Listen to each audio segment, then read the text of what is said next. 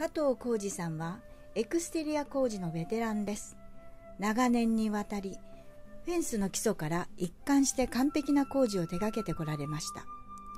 そこには常に安全そして完全を目指し独自の工夫を加えてこられたからだと思います。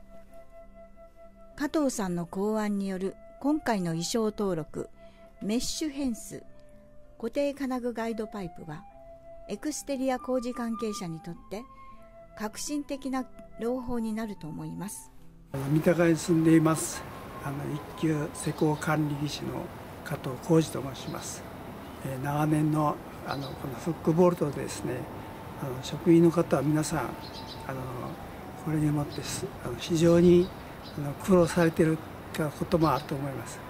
今はまあ木がですね。青々と茂ってですね。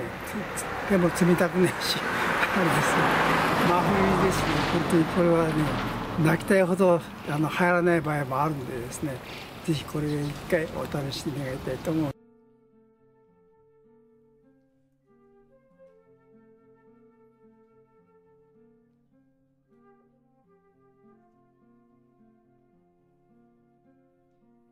はいボルト入れます。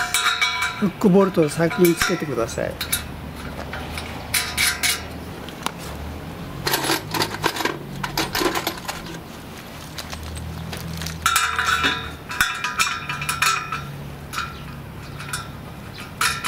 ックボルト全部入れます。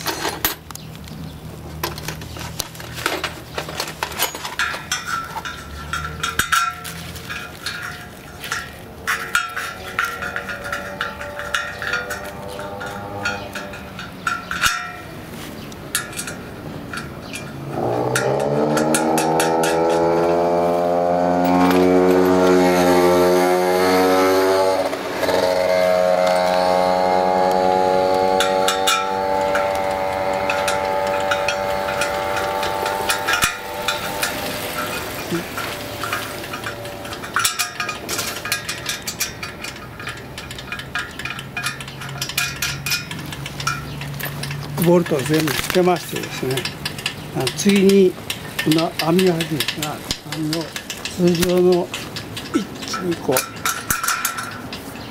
ー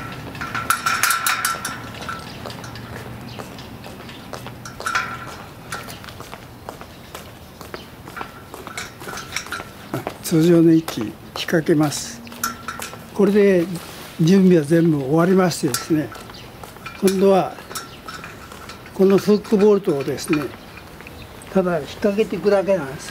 もう二度と表表に手を出すことはありません、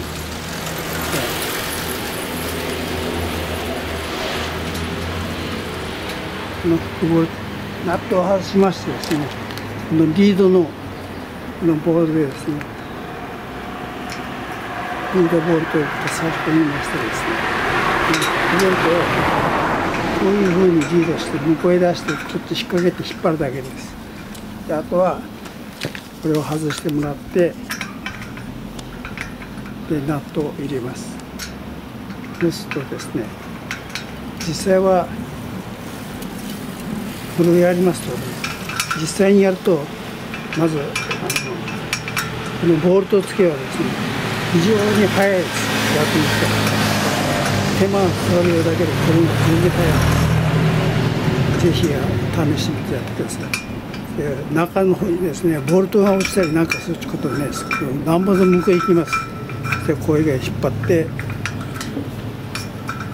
れを止めます。まあこれを全部、まあ、繰り返しですね。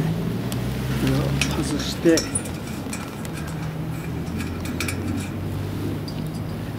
このリードボルトを入れてそっち側の方を出します。いくらでもこう自在になってます。引っ張って外してこうですね。かけて。いきます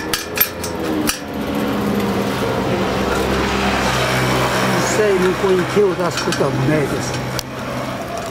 これが特徴なんです。普通はですねここ私はもう手を入れてここから入れてこうやしないと。あの仕事ができないんです。ここからも入らないから上の段から入れてこういうね手を回してやるんです。だけどあの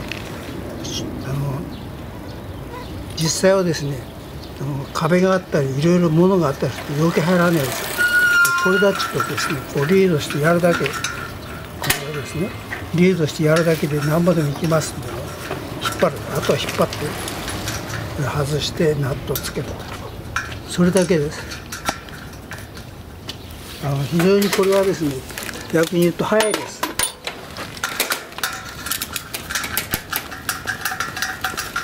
あとはこうやって締めてもらってですね。じゃあ締めて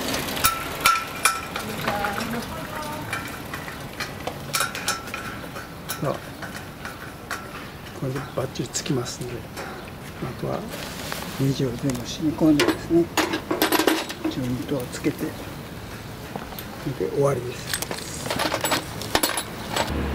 まず柱を立てましてその次に拳柱ですね。柱を立てましてその次にフックボルトを先に入れてください。フックボルトを入れてですねそれであのあのボルトが外れないようにするだけであまりきつく締めないでください。それでその次にですね網を通常の網針のように網をつけましてですねフックボルトをさっき説明したような状態であの想定をですね重ねていくと誠にスムーズにいきますのでボルトが噴出したり柱の中が落ちることはないですそういう意味でですねぜひこれはですね柱を立ててックボルトをつけて、から、つけて、という工程を見てやっていただきたいなと思います。本日はどうもありがとうございました。加藤さんどうもありがとうございました。